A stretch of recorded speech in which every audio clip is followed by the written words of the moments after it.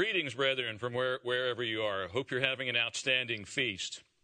On the world scene over the last year, it has been such a difficult economic situation spreading around the planet, spreading confusion and even panic in so many financial circles. Many have begun to wonder how will this affect me? How will this affect my life, my job? Some have even been in a state of panic in the world, hopefully not in the church. Question is, will I lose my job? What kind of a future do I have for myself and for my family to look forward to? Very likely, many of you have experienced some of the worry and even some of the fear. Some who are getting closer to retirement have wondered about their future as well. And yet, we have such a bright vision of the kingdom of God, and still we know that there will be tremendous upheavals in society over the coming years. Some of this chaos and some of this trauma will affect us individually, collectively. And oh, yes, we know that God will protect His own children, but we also know that we are part of the society. We are affected by this society in so many ways. And for these eight days at the Feast of Tabernacles, we have the blessing to separate ourselves somewhat from this society. And that is a tremendous blessing to be able to focus on the coming kingdom of God for eight days. And we can rejoice before the great God as we anticipate the future arrival of the kingdom of God in a few short years. And The question I'd like to ask today is so, how do we cope with coming world chaos in our lives? How do we maintain a positive spirit in troubled times? In our own lives, we'll face many questions as the years go by. The title of the sermon is A Future and a Hope. So today I'd like to look at recent world events, world events that have been transpiring over the last year that potentially can generate unease and even a level of fear, even in our lives, as we anticipate the effect on our family, on ourselves. And then, secondly, I'd like to look at ways that we can cope and even mentally, emotionally, spiritually prosper as we look forward to the kingdom of God in the immediate years to come. That time now as we enter the very transition to the kingdom of God. So let's begin by a quick look at the world scene as we've seen it occur over the last year or so. A quote from one of the world's richest men, in fact, at at certain times, he has been the world's richest man, an individual that many people are aware of, his success, Mr. Warren Buffett. He stated the following a while back In my adult lifetime, I don't think I've ever seen people as fearful economically as they are now. The recession is going to get worse. I don't want to hold out false hopes that by some magic bullet that things will turn around in a couple of months. This really is an economic Pearl Harbor. And that sounds melodramatic, but I've never used that phrase before. And this really is one. End of quote. Well, kind of interesting to hear from a very successful individual, Mr. Warren Buffett. Initially, the beginning of the recent crisis started in America. That's very clear and that's very obvious to all and to world leaders where a booming real estate market was fueled by cheap mortgage money flowing into the country from many different directions. People were offered loans without proof of income, without even down payment money of their own, and with interest rates that were adjustable upward and inevitably upward in a matter of time. And the naive assumption was that real estate the real estate market would continue to grow forever. It would go up and up and up. The trend would continue. It didn't. And of course, we know the bubble burst. Who's to blame for this scenario, for this outcome? Well, investment bankers, investors who lusted after increasing profits, unusual profits, and even potential home buyers who lusted after homes they could not afford, they were not able to pay for. And initially, it was assumed it was only an American problem. German Finance Minister Peter Steinbeck addressed the German parliament, and stated that the problem was due to, quote, investment bankers and politicians in New York, in Washington, and London, whom he stated were motivated by an Anglo Saxon drive for excessive gain. Kind of an interesting perspective, isn't it? An Anglo Saxon drive for excessive gain. We'll call that greed. He went on to say that, quote, the world will never be as it was before the crisis. The United States will lose its superpower status in the world financial system. The financial crisis is above all an American problem. End of quote. Well, it certainly has been. It certainly started out as an American problem, but it also rapidly became a European problem and then a global problem as it spread to countries around the globe. Well, the credit crunch itself wreaked havoc in time in Europe. According to CNNMoney.com, quote, additional bank failures threaten to further undermine investor confidence at a time when the global economy is slowing, stocks are plummeting, and sh- short term markets are locked up. End of quote. And according to the Center for European Policy Studies, quote, some of the major European banks have leverage ratios that must, under current market conditions, be a disaster in waiting. Some ominous predictions there. And European stock markets dramatically plunged, including, of course, France, Germany, and Austria. Additional stock markets plunged in Britain, in Iceland, Russia, Japan, Hong Kong, and many, many other nations. And back in the United States, some experts stated that the United States government's actions may not be enough to stop the global economy from plunging into the worst downturn seen in at least 25 years, if not the Great Depression. So, of course, there was virtually universal alarm at the economy, at the future direction of the world, of world trade. And finally, an interesting note I think this relates to human nature and the core of the problem. According to Netscape News a while back, a floor trader on a New York stock exchange stated, quote, fear has been running rampant all over the street. Fear and greed, that's what rules Wall Street.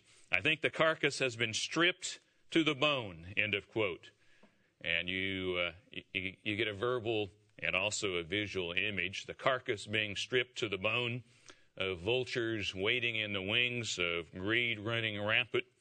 Of course, over the months, things may change. It may get better. Uh, economy may improve, but we know ultimately there will be a continual downturn in the United States and many other countries before the time of the end. At one point in time, the United States stock market had lost 8.3 trillion US dollars, 8.3 to make a more manageable figure to understand. That's equivalent to 27,000 US dollars for every man, woman, and child in the entire country of 305 million people. $27,000 loss per person. That is absolutely staggering never been seen at that level before. Well, the average citizen doesn't own a lot of stock. Not most of us in the church don't own a lot of stock, but this type of economic fear affects everybody. It impacts all of us to one degree or another. They have been concerned, so many people, about their jobs, about their small retirement investments, about their future about their future, even potential retirement and their family. Of course, as we've heard, as we've often heard, a recession is when others lose their job. A depression is when you lose your job. We know it does impact a person that way. When it impacts a person personally, their own family, it has a different psychological impact. A psychological therapist recently stated in our particular area of the country, uh, Sacramento, California, quote, there's real anxiety about how people are going to cope and what they're going to do It's the first time in my lifetime that there's been this across the board financial panic and financial scare. This is the worst I've ever seen it. End of quote. Pretty ominous for people's lives, for their stability, their sense of peace, this kind of fear pervading society in many areas. And though God's people are not the wealthy of the world, national and global e- economies certainly do affect us, don't they? They affect, they affect our income, potentially our future, our stability. Now, we know that this particular global crisis is likely not the crisis at the end of the age. It could be, but we don't know. We may have, of course, a few more years yet. And we'll probably muddle through this to one degree or another, as economies have done for many years. But the truth of the matter is, we had better be prepared to weather the storm in the remaining few years, which will eventually lead to the great tribulation and the day of the Lord. We have to be prepared mentally, spiritually, physically, in every way. I think perhaps one of the best analogies for us to remember as we look forward to the kingdom of God and our future is that of normal human childbirth, which parallels our birth into the family of God. For nine long months, there is great anticipation as husband and wife and maybe other children look forward to the birth of that next child. And as the time draws near, there's a lot of preparation. Much goes on in a household with a couple. Uh, new baby clothes may be washed and gotten ready for the new arrival. Plans for the hospital trip or the birthing clinic are made. Typically, a bag is packed and ready. Everything's ready at home. And it's an exciting time to anticipate that birth as father and mother as they wait for the little newborn bundle of love. And then comes the early preparatory contractions that occur during that last month, during that last few weeks. These are not the full blown birth contractions that will occur later. They are the preparatory contractions that get the mother ready, to get her body ready, and maybe her mind ready, psychologically and physically and physiologically. This signals the time of delivery uh, of the birth. It's nearing. It's an exciting time looking forward, of course, to a, a little new bundle, tiny baby in the expanding family. It's also a time of some trepidation as the mother and potentially the father realizes that she will soon be going through the more difficult stages of contraction. I can remember uh, my wife saying in the past, and admitting that at one point in time she remembers thinking in her mind that, I don't want to do this. And of course, that passes. You know, it's in gear. There's no turning back. You must face the future and accomplish that which we're called to accomplish. Well, brethren, we're in the very early stages of this birth process yeah, in our lives spiritually. We have been begotten by the great God. We've been given God's Spirit. We've been called to mature, to grow. Hopefully, we have grown spiritually. Hopefully, we intend to grow spiritually in the years ahead. But we're not yet born into the family of God. This life is the gestation for real life yet to come, birth into the family of God. And currently, we may experience some very preparatory contractions, very early contractions. And the real labor pains have not yet started, but we definitely are getting closer month by month and year by year. And to be born, there will, will be labor pains. And it goes with the territory, but this is the only route to birth, to our birth into the eternal family of God. So we experience a mixture of trepidation and fear as to what is ahead of us as we look forward to the years beyond, as we look forward even towards the coming kingdom of God, a time of great joy, but we must experience that birth process. And we can also, though, experience an overwhelming confidence and joy in the outcome of that birth process, something that should excite us, should enliven us, should encourage us, no matter what transpires in the months and years ahead of us. So, in the remaining time of the sermon, let's look more closely at ways that we can cope with anxiety and fear, even mentally, emotionally, and spiritually, prosper during that time in the immediate years ahead of us as we face the end of the age, through the very transition of the birthing contractions leading to the kingdom of God. We know Scripture tells us in 1 John 4:18 that with perfect love there is no fear.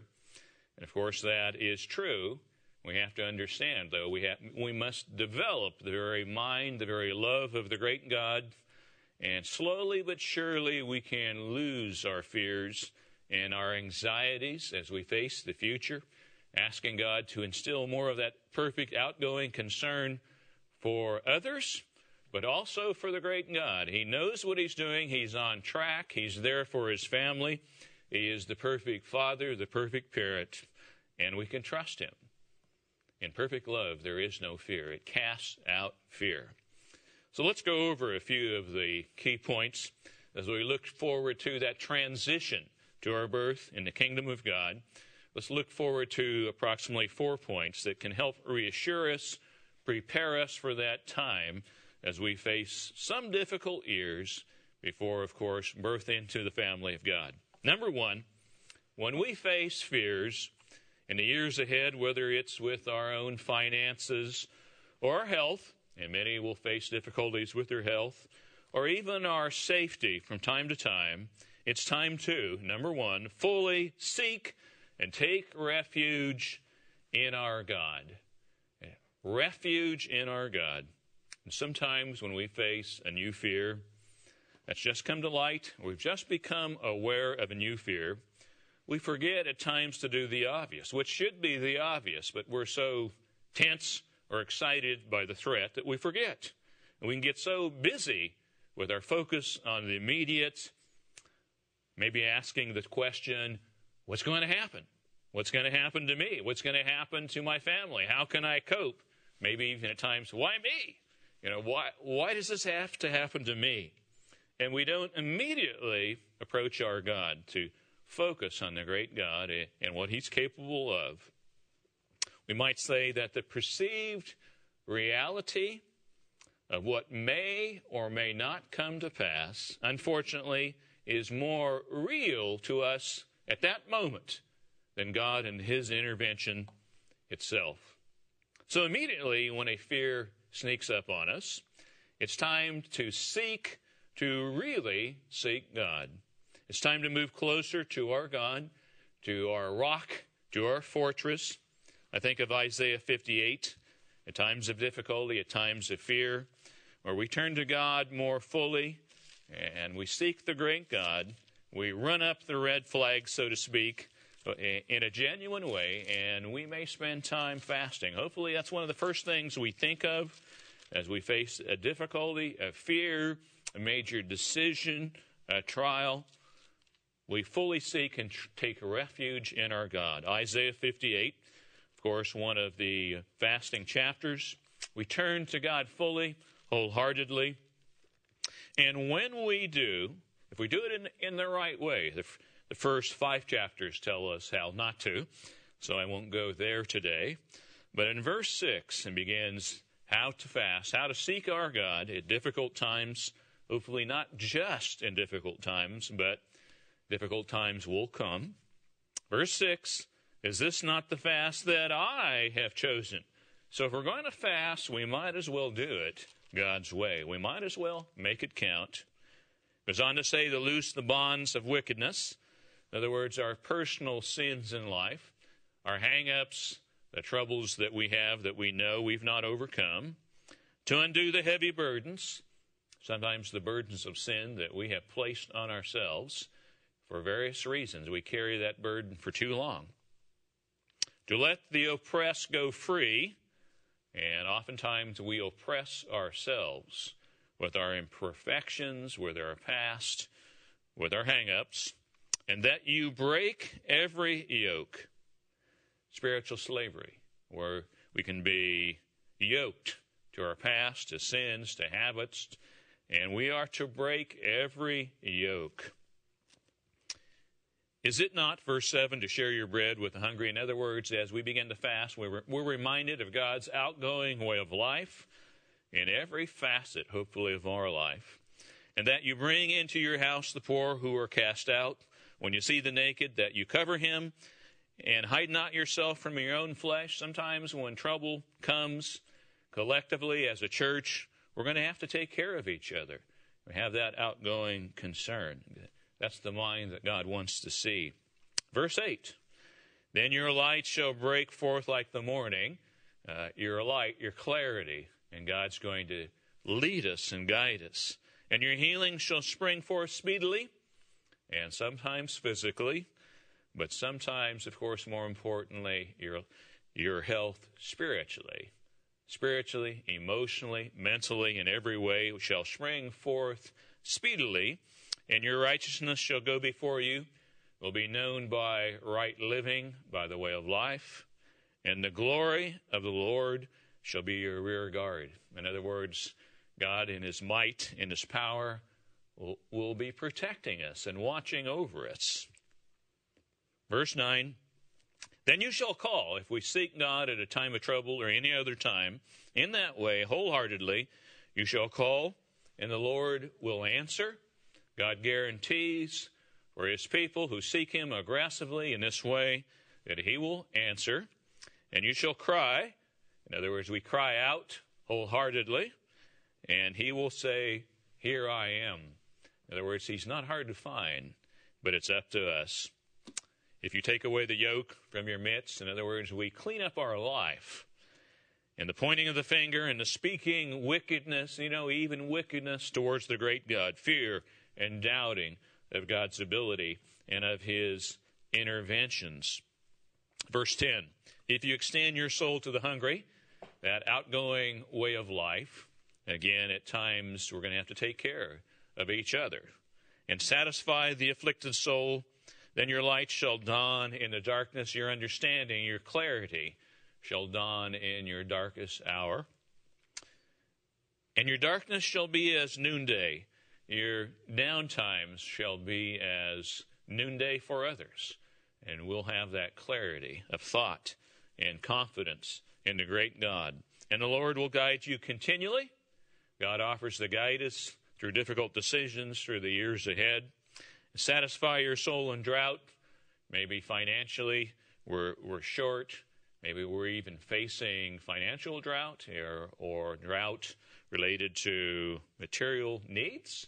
God will satisfy our lives and strengthen your bones, and you shall be like a watered garden, and like a spring of water whose waters do not fail. It goes on to say, And those from among you shall build the old waste places, leading, that is, into the millennium, into the kingdom of God. We'll have the privilege of building the old waste places on this planet and you shall raise up the foundations of many generations for a thousand years, and you shall be called the repairer of the breach, of the breach between God and man, between man and God, the restorer of streets to dwell in. Well, it's just a reminder that when we have difficult decisions, difficult traumas, when we know we're not close enough to God, that we need to fully seek and take refuge in our God. We know King David had an abundance of fears in his life and challenges. His own father in law tried to hunt him down and kill him. Even his own son, Absalom, tried to overthrow him, and at times he was surrounded by enemies on every side. And David learned quickly, and he was a man after God's heart. He was wholehearted to seek God in the face of fear, as we must learn to do. Psalm chapter 27. And we can take courage at difficult times through the example of King David, who had some very scary situations in his life, as we can have and may have, and yet we can seek our God in the face of fear. Psalm 27 in verse 1 The Lord is my light and my salvation. Yes, eternal life, but also physical salvation through trouble and trauma and tribulation. God saves us. Whom shall I fear? The world? Or do we fear the great God? The Lord is the strength of my life. And will we keep that in mind at difficult times? Of whom shall I be afraid? When the wicked came against me to eat up my flesh, my enemies and foes, they stumbled and fell. And in the end, that will be true of the enemies of truth and of the church and of our enemies. Verse 3 Though an army should encamp against me, my heart shall not fear. Though war should rise against me, and we will see war, fear, even World War III, in this I will be confident. So we can have that confidence. We don't have to fear. Verse 5 For in the time of trouble, and that time is coming, he shall hide me in his pavilion. He will hide us in his own place, in the secret place of his tabernacle, where he puts his faithful church and his people. And he shall hide me, and he shall set me high upon a rock. A rock solid in confidence. God will preserve us and protect us. And we know this absolutely applied to David in his time of trouble, but it's not just limited to David himself. It applies to our time of trouble, now or ahead of us, no matter how big, no matter how small. The same principles apply to the firstborn, to those whom God is teaching and training. And we know in this verse, David reminds us we have a place to go when we're fearful. We can take refuge in our God. I know years ago, many of you have experienced some of this.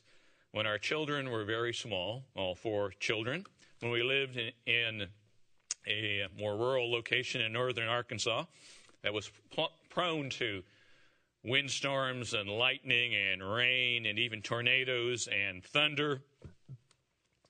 And when a violent thunderstorm would come rolling in late at night, which it did from time to time, could be almost any month of the year, often after a certain amount of noise and uh, thunder and lightning, and often all four of our young children would come uh, working their way into our, our bedroom, joining my wife and I in bed. And even though they were very small, you know, they recognized that we were their protection. And in their minds, we were their protection. Of course, sometimes the bed got a little bit crowded and difficult thunderstorms. Maybe, maybe the last one in had to sleep at the foot of the bed. But in the same sense, when our emotional thunder brings fear in our life, as it does and will do from time to time, the first thing we should think of is taking refuge in our God. Psalm 32. Psalm 32. There's so much encouragement here from David himself, who faced a lot of fear and trouble in verse 6, 32 verse 6, For this cause everyone who is godly shall pray to you. And hopefully we remember that. In a time when you may be found, surely in a flood of great waters, whether that's physical waters or armies, and they shall not come near him. There's that promise of protection. Verse 7 You are my hiding place. You shall preserve me from trouble. And we can have that confidence. You shall surround me with songs of deliverance. So we can have that, that uplifted mindset, even with songs of deliverance, of an awareness of the great God and his love for his people. God will deliver us as we trust him, as we look to him. And David continually sought God for solutions from all his fears and he was delivered. And we are no different if we seek our God. Psalm 34, over a couple more chapters. In verse 4, I sought the Lord, and he heard me. And we can have that assurance as well. And delivered me from all my fears. You know, what a, what a blessing it is to be delivered in that way. Verse 6 the poor man cried out, and the Lord heard him and saved him out of all his troubles. That's exciting to think about. That God will save us. We can, we can take refuge in our God. In verse 7, and the angel of the Lord encamps all around those who fear him. Think about that. The angel of the Lord. When we're in a time of trouble, we can remember that the angel of God or the angels of God camp around us. Second Kings, I think, shows an interesting example. I think it's a very visual example, and in truth, it's very helpful to remember that we can visualize even God and his unseen armies that surround us. Let's turn to 2 Kings chapter 6 and verse 8. Maybe we can retain this mental image of the invisible God, at least to us at this moment, and his army. 2 Second Kings 6 and verse 8. Now the king of Syria was making war against Israel, and he took counsel with his servants, saying, My camp will be in such and such a place. And a man of God sent to the king of Israel, saying, Beware that you do not pass this place, for the Syrians are coming down there. So he was warning the king. And the king of Israel sent someone to the place of which the man of God had told him. And thus he warned him that he was watchful there, and he was, not just once or twice. So he was very alert. Therefore, the heart of the king of Syria was greatly troubled by this thing, and he called his servants and said to them, Will you not show me where, will you not show me which of us is for the king of Israel? In other words, you know, who is secretly providing the king of Israel with information?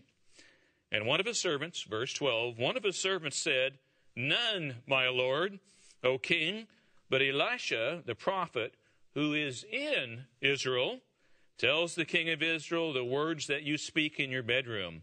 So, so he's saying, Elisha, the servant of God, knows virtually what you think and what you say, even in your bedroom. So he said, Go and see where he is. Go find him, that I may send and get him. And it was told him, saying, Surely he is in Dothan.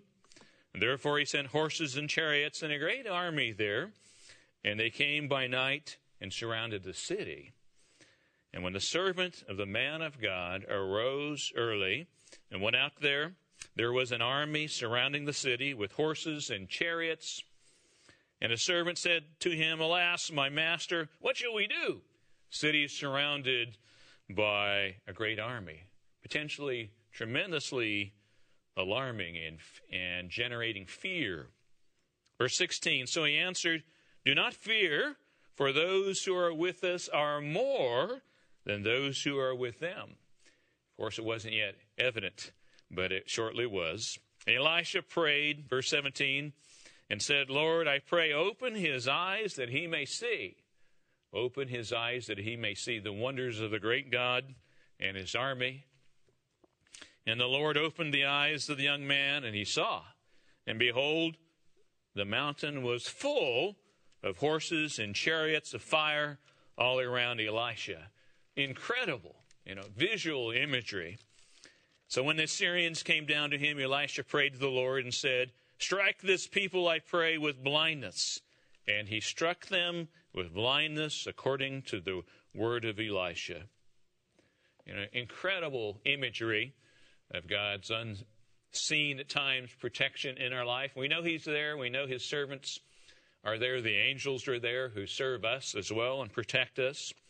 So when we are in a time of trouble, we can remember. We can remember these examples. We can remember the fact that in Psalm 34 7, the angel of the Lord encamps all around those who fear him and delivers them. That's something we can remember. That applies to us. That applies to every one of us who have God's Spirit, who trust the great God. Well, some might say, well, that was the king of Israel. That was Bible times. Well, you know, brethren, these are Bible times today. And God is working with his potential firstborn sons who will be literal kings of, of God in God's kingdom. We know the majority of prophecy applies to our time now. We are living in Bible times. Well, let's move on to the second thought. Number two, as we face the future and the difficulties and the traumas on the road to the kingdom of God, number two, we must walk by faith and not by sight. Of course, you've heard that before, but it needs to be real in our life.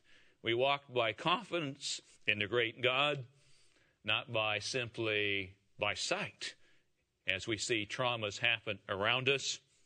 And we know following the collapse of the World Trade Center in New York City, September 11, 2001, so many of us had seen the collapse, even rerun after rerun. It generated fear and concern across the country and maybe across the globe. And you know, shortly thereafter, as we know, church attendance in the churches of the world dramatically increased. Millions had witnessed the death of almost 3,000 people, and it generated a great deal of fear and anxiety. You know, that could be your city or their city. And so many began to feel the need to connect with God, even in the churches out there of various stripes, to connect with God, some, someone bigger than they are. But you know, one year later, one year later, 12 months later, surveys indicated that church attendance had dropped down to where it was before the level of the attack. 12 months later, things are back to normal. In one sense, you might say that the average person walks by sight rather than by faith and confidence in the great God. And that sight of massive destruction motivated people temporarily. They had that in their mind's eye. And they were motivated to try to find God, a protector. But one year later, human nature is, has such a short memory of events. One year later, the sight and memory of the collapse of the tw- Twin Towers had dimmed, it had diminished, and people were going about their lives as before. God's people, though, were to be different. We're led by God's Spirit. We potentially have Jesus Christ living in us to the extent we allow Him to live in us. And we should walk by faith, confidence, rock solid confidence in the great God rather than by sight, by what's happening right at the moment around us, or in our bank account, or even our health for that matter. We walk by faith, hopefully, in the great God. Kind of reminds us of Matthew chapter 14, Peter's experience, and it's a good example of walking by faith and walking by sight. And we found initial courage and excitement in Peter, saw Christ walking on the water, and then he saw the waves. He saw what was happening around like so many can today. And of course, the danger almost overwhelmed him. Matthew chapter 14, verse 24. So the sight at the moment almost overwhelmed his faith. We must not allow that to happen. Matthew 14, verse 24. In a bo- boisterous time, but the boat was now in the middle of the sea, tossed by the waves, where the wind was contrary to their path, that is. Verse 25 Now in the fourth watch of the night, Jesus went to them, walking on the sea, walking on water. You know, a, a, a tremendous illustration of the power of the great God, even in spite of the fact that the sea was boisterous. So God didn't necessarily calm it immediately, but Jesus came walking. When the disciples saw him walking on the sea, they were troubled, saying, it's a ghost. You know, it's an apparition. It's something we don't know. And they cried out for fear. So they were overcome with fear, which is kind of natural, human nature. Verse 27. But immediately Jesus spoke to them, saying, Be of good cheer. It is I. Do not be afraid. Trust me. And Peter answered, verse 28, and said, Lord, if it is you, command me to come to you on the water. Command me, and I'll have confidence. And so he said, Come. And when Peter had come down out of the boat, he walked on the water to go to Jesus. So he started out looking, keeping his eyes on Jesus Christ. But when he saw, as he began to take his eyes, of course, off of the Savior, and he began to look around, as we can do sometimes in society, the economy, difficulty, but when he saw that the wind was boisterous, he was afraid. And beginning to sink, he cried out, saying, Lord, save me. And immediately Jesus stretched out his hand and caught him and said to him, O you of little faith, why did you doubt? And of course, God, I'm sure, will wonder that of us at times if we fear, if we do not trust the great God. So hopefully, we want to and are willing to walk by faith, by confidence in the unseen God, in His future, in the coming kingdom of God, as opposed to by sight, the difficulties in society, maybe even in the business we're involved in, in, in our area of the world. We trust the great God totally, and hopefully we walk by faith rather than sight. Well, Scripture tells us as much that we walk by faith, not by sight. 2 Corinthians 5 7. That's our goal. That's what we're called to, to walk by confidence in the great God. One profound aspect of living faith is the sure knowledge that what God has promised or revealed through His Word will come to pass. We can have rock solid confidence in the Word of God. It will come to pass. You and I know the future. We have the book of Revelation. We have so many prophecies, all the prophets. And we know about the tribulation. We know about the day of the Lord.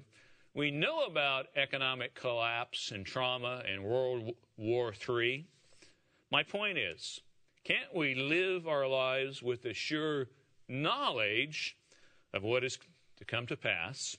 In our need to stay close to God, can't we keep that in our mind? Can't we walk by faith right now? Not just maybe when we face great fear, but right now in our preparatory transition phase to the kingdom of God.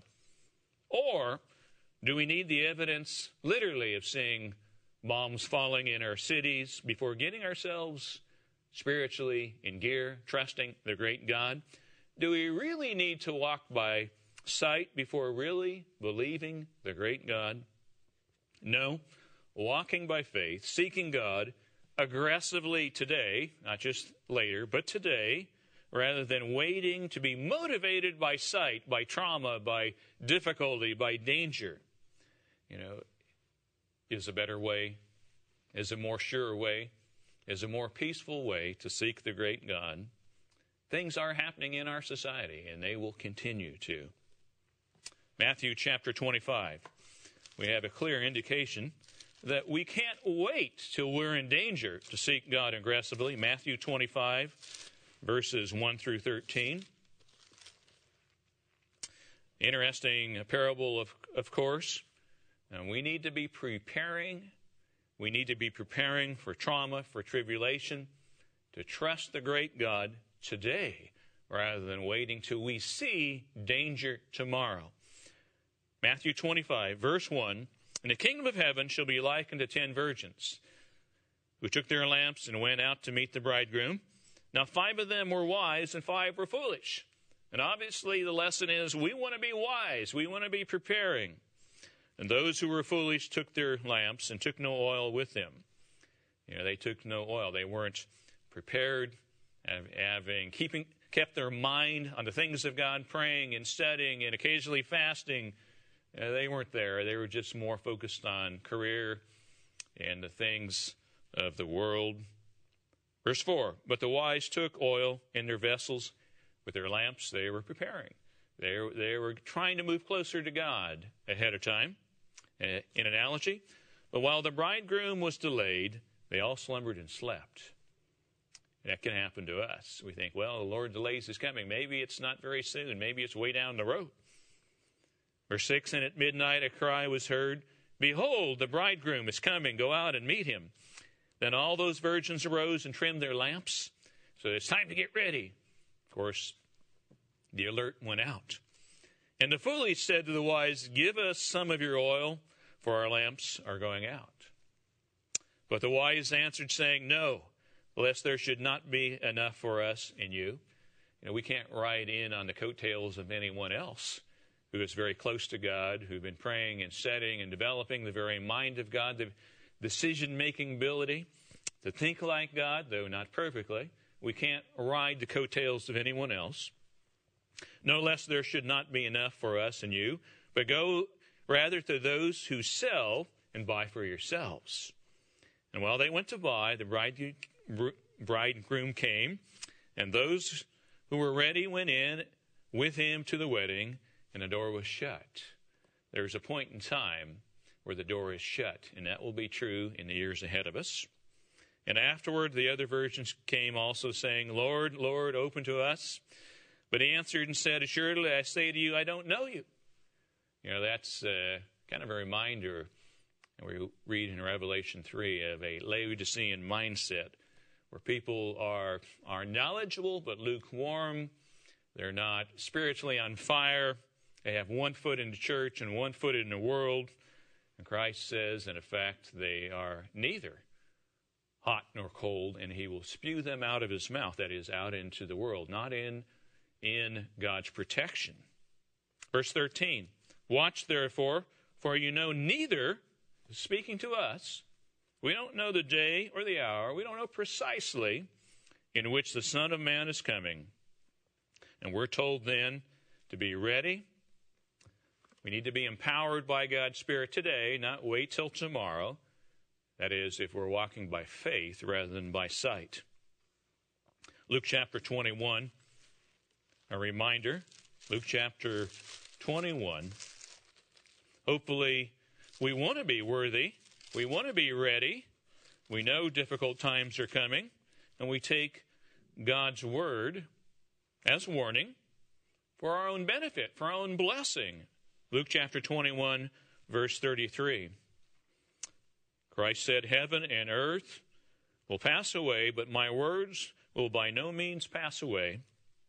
But take heed to yourselves, lest your hearts be weighed down with carousing and drunkenness.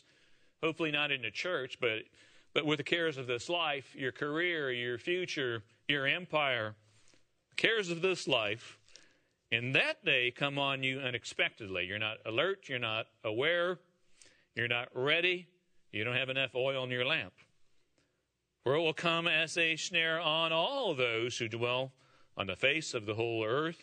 Watch therefore, Christ said, parallel here, and pray always. In other words, be in that mindset seeking the great God, walking by faith rather than by sight, that you may be counted worthy because of your closeness with the great God to escape all those things that will come to pass and to stand before the Son of Man. So we want to stand before the Son of Man, ready, prepared, you might say, in our change or the resurrection, ready to hit the ground running at the very beginning of the millennium. Incredible. Incredible blessings, protection. God offers us that assurance. If we're close to God, if we're very close to God, we will be worthy to escape worthy to escape all the things that are coming to pass. That is, if we're walking by faith, if we're walking in confidence in the great God rather than by sight. You know, in other words, what's happening right now in our life, our bank account, our health, our situation. We get our minds on ourselves fully instead of on the great God and His plan. Well, that was point number two. We must walk by faith and not by sight if we're going to successfully go through that transition as we face the birth, our birth into the kingdom of God. Number three, number three, God will fight our battles. We have to have that confidence. God will fight our battles if we are very close to Him, if we allow Him to. If we want Him to, if we allow Him to, we really don't have anything to fear according to the Word of God, according to his mindset, the way he thinks for his children. Let's look at a courageous example. And I enjoy this example, especially when Judah, under King Jehoshaphat, clearly walked for a period of time by faith, and God rewarded them greatly at that moment in time. Second Chronicles, look at Second Chronicles chapter 20 and verse 1. Second Chronicles 20 and verse 1. And it happened after this that the people of Moab and the people of Ammon and others with them besides the Ammonites came to battle against Jehoshaphat. Then some came and told Jehoshaphat, saying, A great multitude is coming against you from beyond the sea, from Syria. So, big trouble on the horizon. What do you do? Do you freak out and panic, to use a, the vernacular, or do you seek your God? Well, let's see what uh, happened here. Quite impressive. Lesson for us. Verse 3 And Jehoshaphat feared, he feared, course, he ultimately feared the great God. He trusted God and set himself to seek the Lord, and he proclaimed a fast throughout all of Judah. And so Judah gathered together to ask help from the Lord. And from all the cities of Judah, they came to seek the Lord. Now, pretty impressive as a people. They sought God and his deliverance. Verse 5 Then Jeho- Jehoshaphat stood in the congregation of Judah and Jerusalem in the house of the Lord before the new court and said, O Lord God of our fathers, and I like this section here as, as he speaks boldly to the great God, full of faith, not, not arrogantly, but boldly to the great God. O Lord God of our fathers, are you not God in heaven? And do you not rule over all the kingdoms of the nations? And in your hand is there not power and might, so that no one is able to withstand you? You know, speaking to God in that way at times, we, we approach God, we honor Him, we reason with Him in this fashion. Verse 7 Are you not our God? who drove out the inhabitants of this land before your people Israel and gave it to the descendants of Abraham, your friend, forever. Very bold, not arrogant, but bold, in full confidence, seeking God. Verse 8 And they, and they dwell in it and have built you a sanctuary in it for your name's sake. Verse 9 If disaster comes upon us, such as the sword, judgment, pestilence, or famine, we will stand before this temple, and in your presence, for your name is in this temple, and cry out to you in our affliction, and you will hear and save. Tremendously reassuring, reminding God. It's, of course, was for his good, but reminding God in the process. And what a blessing it is having that kind of courageous mind, seeking God. Verse 10 And now, here are the people of Ammon, Moab, and Mount Seir, whom you would not let Israel invade when they came out of the land of Egypt, but they turned from them and did not destroy them. And here they are, verse 11, rewarding us by coming to throw us out of your possession, which you have given us to inherit. What courage! Uh, what a courageous example of leadership. Verse 12, notice. Our God, will you not judge them? For we have no power against this great multitude that is coming against us, nor do we know what to do, but our eyes are upon you. In other words, we are walking by spiritual faith. Our, our spiritual eyesight is upon you, great God. Verse 13. Let's move on to verse 15. And he said, that is the servants of God, listen, all you of Judah, and you inhabitants of Jerusalem, and you, King Jehoshaphat. Thus says the Lord to you, do not be afraid, nor dismayed, because of this great multitude, for the battle is yours, is not yours, but God's. And of course, we know that's our life as well. If we're trusting God, if we're seeking our God. Verse 17, and you will not need to fight in this battle. Position yourselves, stand still. Don't be fearful. Stand still and see the salvation of the Lord who is with you.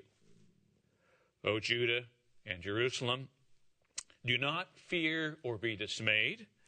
Tomorrow go out against them, for the Lord is with you. of course, that applies to us as well. That applies to us individually and collectively. It applies to us. We have that kind of leadership. We have of course, our evangelists at headquarters, Mr. Meredith, Mr. Ames, Dr. Winnail. We have that kind of leadership, and we must have that kind of courage individually and collectively. Brethren, is that our mindset? Are we willing to fully trust our God and allow Him to fight our battles in this journey ahead? Are we willing to trust our God? Let's look at a specific future example Revelation 12. Revelation chapter 12, looking forward to the future, times of difficulty, hopefully times of courage, times of God's intervention. Revelation 12 12. Therefore rejoice, O heavens, and you who dwell in them. Woe to the inhabitants of the earth and the sea, and to all the planets at that time. For the devil has come down to you having great wrath, because he knows that he has but a short time. Verse 13, and as we look at the transition from ancient Israel to the, to the church today, now when the dragon saw that he had been cast to the earth, he persecuted the woman who gave birth to the male child. Of course, physical Israel, and then we see the transition to spiritual Israel. But the woman was given two wings of a great eagle, that she might fly into the wilderness to her place, where she is nourished for a time and times and a half a time from the presence of the serpent. You know, three and a half years prophetically, nourished, protected by the great God. Verse 15 So the serpent spewed water out of his mouth like a flood after the woman that he might cause her to be carried away by the flood, whether it's actual water or armies. God is more powerful than anything the serpent or Satan can throw at God's people. Verse 16 But the earth helped the woman, and the earth opened its mouth and swallowed up the flood which the dragon had spewed out of its mouth. Very clearly, if we're walking by faith, not by sight. If we trust the great God, even at times like this, you know, we can see that God can and will intervene, similar to the experience of Moses and children of Israel, and later Jehoshaphat. God fights the battles of those who walk by faith. Verse 17 And the dragon was enraged with the woman, and he went to make war with the rest of her offspring, the remnant, those who remained who keep the commandments of God and have the testimony of Jesus Christ. That is, they have the truth, but they're walking by sight. They seek God only when the pressure is on. And that's a warning to us. We must be alert and aware, trusting the great God. So that assurance is there for us that God is continually there for us. Satan can't reach us if we're in contact with the great God, if we walk by faith. No power in the universe is strong enough to separate us from God, not even Satan and his demons. You know, God will intervene powerfully for us. Psalm 91, a quick reference to Psalm 91 at that time, potentially at the end of the age when Satan goes to make war even with those who are Philadelphian in spirit. We can trust our God if we walk by faith, not by sight, even when the chips are down. Psalm 91, verse 1, maybe specifically for that time. He who dwells in the secret place of the Most High, that is, who trusts the great God, shall abide under the shadow of the Almighty God. And I will say of the Lord, He is my refuge and my fortress, my God, in Him I will trust our protector, our defender. We can trust the great God. Verse 3 Surely he shall deliver you from the snare of the fowler and from the perilous pestilence, from all kinds of traps that are out there that Satan has, even, even pestilence, even more deadly forms of uh, swine flu or whatever comes our way. God has the capacity to protect his people. Verse 4 he shall cover you with his feathers, symbolically, and under his wings you shall take refuge. You can trust God, he will protect you, and his truth shall be your shield and your buckler, even the knowledge of the truth of the soon coming kingdom of God can sustain us at that time. And you shall not be afraid of the terror by night, nor of the arrow that flies by day. You know, nighttime terror is always a little greater in the darkness, nor of the pestilence that walks in darkness, nor of the, the destruction that lays waste at noonday, warfare. A thousand may fall at your side. We may see that as God leads us out of society, maybe through various metropolitan areas, and 10,000 at your right hand, but it shall not come near you. Only with your eye shall you look. If you're walking by faith, you'll be able to see by sight and see the reward of the wicked. The reward of the wicked, very clear that God will protect us as we walk through that time, trusting the great God. God will deliver us. Let's move on to one final point. And let's remember, point number four, remember God's promise that He will never leave us or forsake us. We are His children. Hebrews 13, 5. Hebrews chapter 13 and verse 5.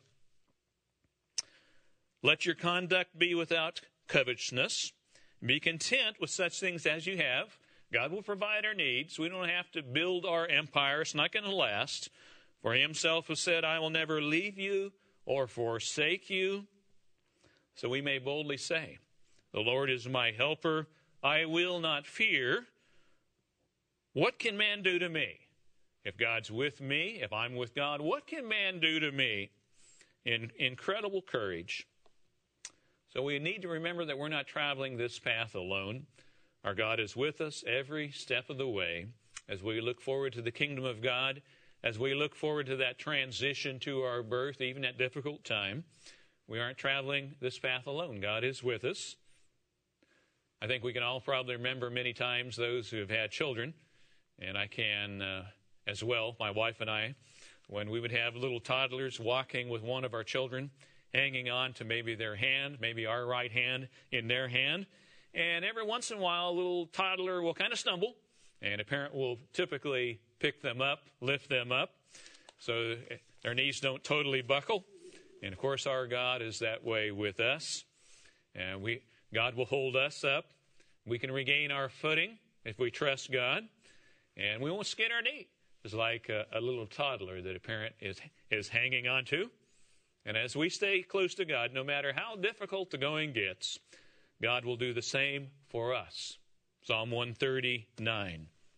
Psalm 139. King David, continually staying close to God, realized that God would lift him up. Psalm 139. God would not abandon him. And we have that same promise. Verse 139, verse 7. Where can I go from your spirit? Can, can you hide from God? And the answer is no. You don't want to if you're close to God, if you're looking to God for protection. Or where can I flee from your presence?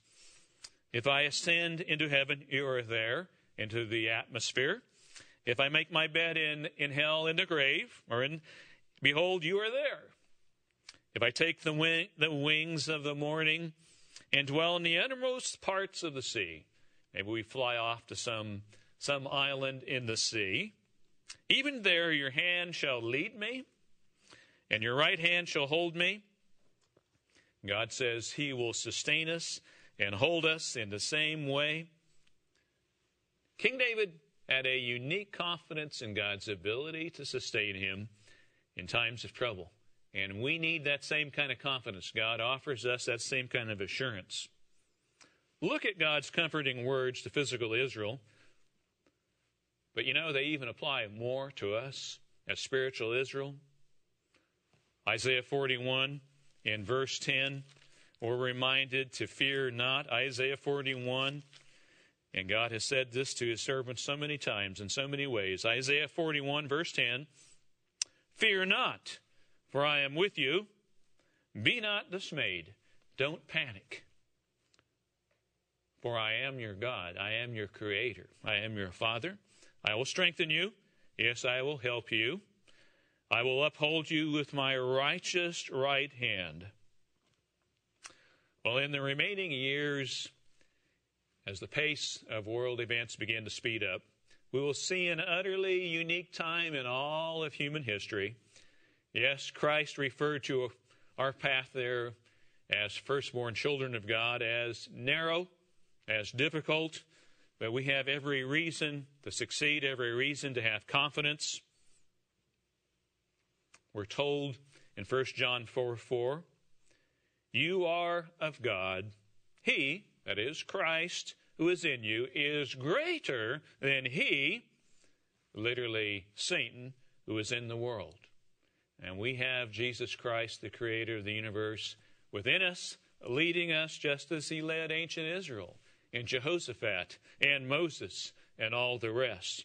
Jesus Christ, the very creator of the universe, will live his life in us through the remaining years.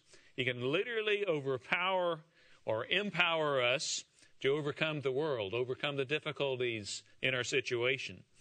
The one who will hold our right hand will also defend us with the power of his might. Truly, brethren, we have a future and we have a hope. And when the contractions of our birth process come on stronger, and they will, let's remember God's words of comfort and encouragement in Jeremiah chapter 30, chapter 29. God wants us to succeed. He, he has a future and a hope in mind. Jeremiah 30, 29, verse 11. Comforting words. I think one of potentially our, could be our favorite scriptures as we face the future, difficult times. Jeremiah 29 and verse 11. For I know the thoughts that I think towards you, says the Lord, thoughts of peace and not of evil. In other words, not of evil that will come out of society either, to give you a future and a hope. Verse 12, and then you will call upon me and go and pray to me, and I will listen to you. And you will seek me and find me when you search for me with all your heart. Well, brethren, our God offers us a real future and a hope. We can have confidence in the great God, rock solid confidence. Let us seek Him with our whole heart, and just like a loving Father, He will see us through.